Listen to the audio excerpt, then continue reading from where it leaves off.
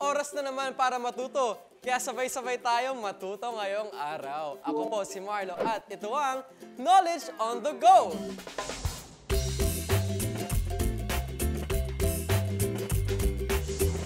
Sino kaya maglalaro ngayong araw?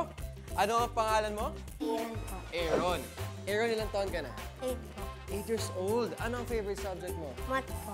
Math, aba? Mahusay. Favorite ko din ang math. Oh, sana ayan na makuha natin ha. Roll mo na ang dice.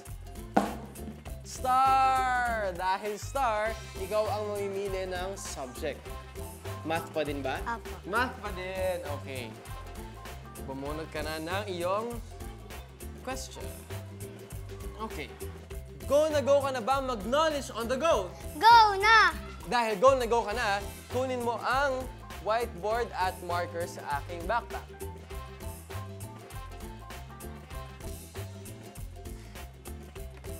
Aaron, ito ang question ko para sa'yo.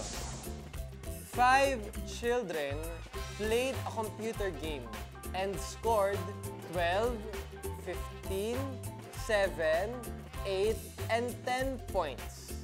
What is the median score? Letter A, 7. B, 10. Letter C, 12. Or letter D, 15. A. A7. Okay, ang sagot ni Aaron ay letter A7. Ang tamang sagot, Aaron, ay letter B.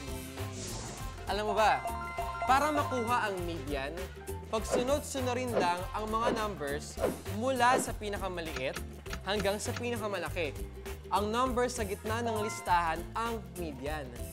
Kahit hindi mo nakuha ang tamang sagot, congratulations, Aaron! Meron ka pa ding gift mula sa Knowledge on the Go. Huwag kayong malungkot kapag hindi nyo nakuha ang tamang sagot kasi mas magiging drive natin ito para lalong mag-aral.